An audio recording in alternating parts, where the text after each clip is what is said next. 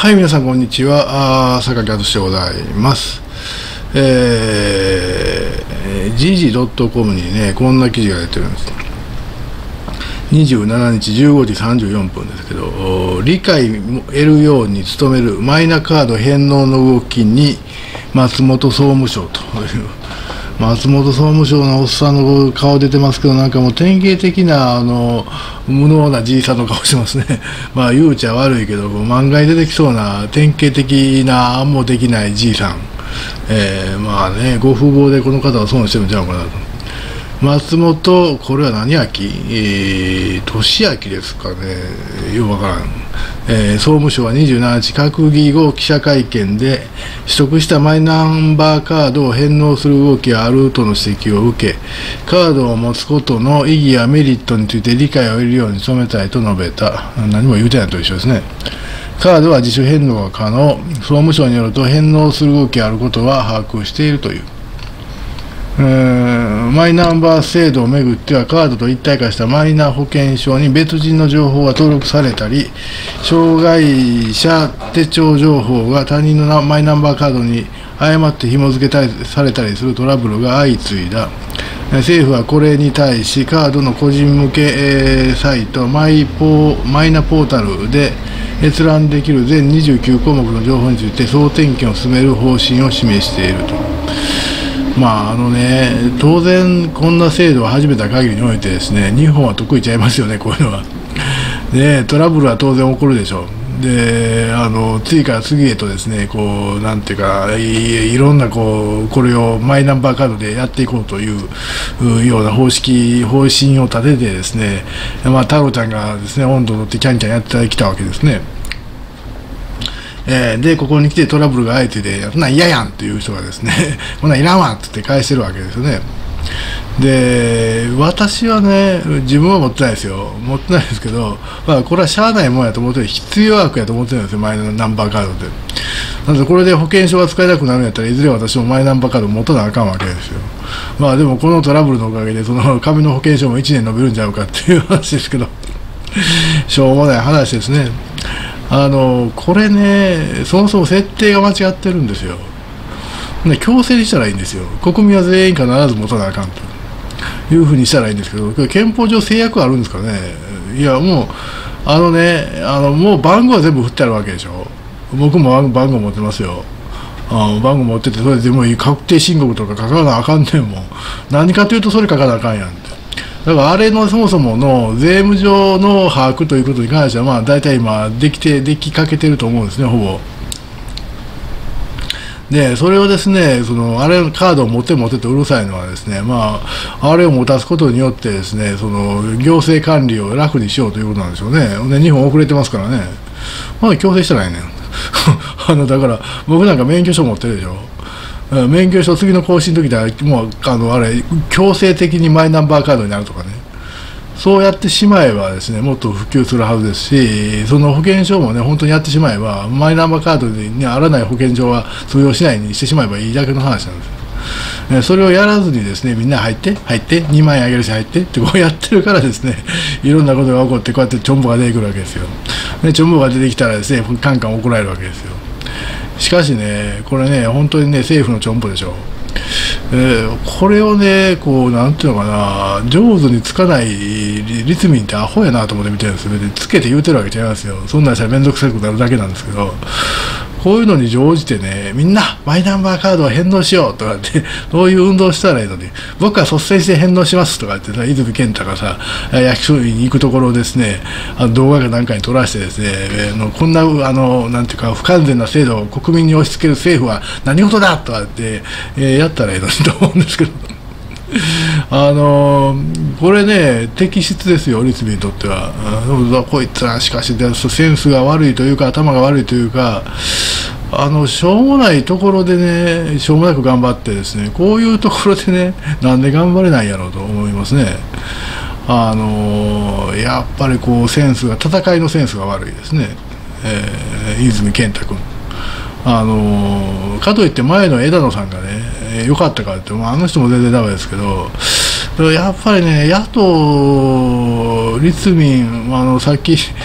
某週刊誌の人とですね喋ってたんですけど、あの大阪の維新もね、あいつらもなんか利権ばっかり追っかけてそうな変な政治家入ってるやんみたいな話をしてたら、そうです、そうですとか言ってましたけど、あのまあ、維新は大阪の利権や集団で、まあ、あれあいつら、なんていうのかな、その野党とは言えない連中ですけどもあの健全な野党が、ね、いた方がいいわけですよ、私、常々言ってますけど。あの健全な野党はね、健全に政府を追及している姿を見せた方がですね、自民党はピリッとするんですよ。全然健全ちゃうやんっていうか、元気なさすぎやんと。あのマイナーカードってこれ大きな問題でしょ。あんなバカ息子キャンキャン言うんやったらね、バカ息子なんか誰が見たってバカ息子なんですから、あんなキャンキャン言うててもしゃあないわけですよ。こういうところでですね、え政治家の仕事、野党の仕事はこういうことなんやと。国民の不安をですね解消するためにですね政府はこうすべき、ああすべきやということをですねキャンキャン言うてですね自民党の至らないところをですねキャンキャン攻め立てるというところが必要であって、あの連邦風にやれとは言いませんよ。これはっきり言うてね、あのいや大した大したちょんぼちゃうと思うんですよ、僕は。いろんな面で。13万件がどうのと言われてますけど、分母5000やん。5000円いくらいでしょ。大したことないの。全然大したことないと思うんですけど、まあ、それでもね、13万人に該当した人大変ですよ。だから怒るのは無理がないと思うんですよ。13万人は怒りの鉄拳ですよね、本当に。うわ、こんなもん返したるみたいになるでしょ。でもまあ、その13万人の側に立ってですね、ものを言うべきではないんでしょうか、野党は。あと思いますね。あのー、というのかな、別にこんなそこまで、そこをね、スマートにね、自民党に忖度、政府に忖度する人なんか全くないんですよ。もっとキュンキュン攻めればいいのにと思うんですよね。あのこれだからね、立民ね、次の選挙でね、少し増えるかも分かりませんけども、前が少なすぎたんですよね。えー、でもいつまでたってもね、こんなんでは政権どころちゃいますよ、ほんまに。もう、もう、10年や10年ぐらいはあるかも分かりませんけど、20年先にはもうないんちゃいますかね、立民という政党は。あのいつまでもね、組合の票だけ持っててもしゃあないでしょ、ほんまに。別に私、立民なんかに入れたことないですよ。一回も入れたことないですよ。あの昔の民主党には入れたことありますけどね。あのー、あのでも政権取る時も入れてませんよ、実は。もっともっと前の 時に入れたことありますけど、もその後はずっと自民党ですね。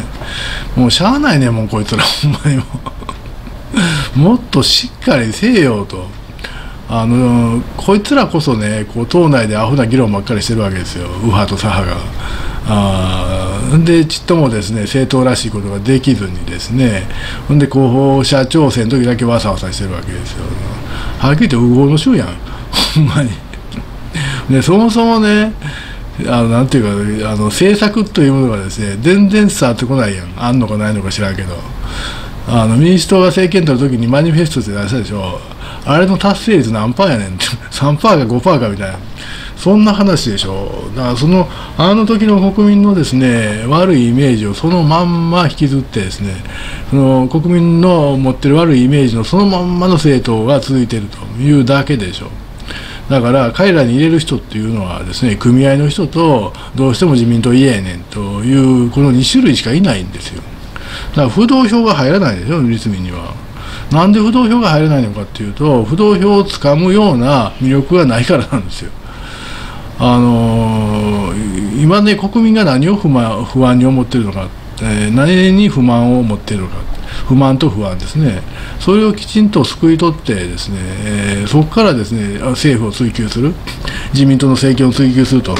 いうことをするのが健全な野党だと思うんですけど全然できてないですね。でそのくせにやれ憲法擁護やとかアホなことばっかり言うてるでしょ。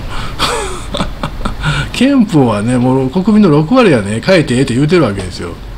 そこを残り4割側に立ってどうすんねんって話ですよ。ほんまに。まあ4割側の意見を言うてるのもいいですよ。でもそればっかし一生懸命やっててもしゃあないやんって。国民はそこを望んでいない。少なくとも君たちに票を入れてもいいかなと思ってるような不動票あの不動票層はですねそんなことを考えていないわけですよ。もっとしっかりした野党であればですねいつかはこの政党に政権と投資なと思う方がだんだん増えてくるわけですよ。君らが努力してるとは思えないな。とても思えない、はい。えー、情けない愚痴のようなお話でございましたがこの時事 .com のアドレスを貼っておきます。皆さんどうもありがとうございました。